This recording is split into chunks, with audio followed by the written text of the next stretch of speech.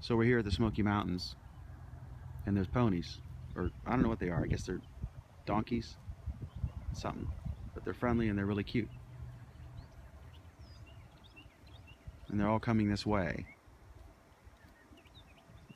I bet if I whipped out a sugar cube, they would be all down to business.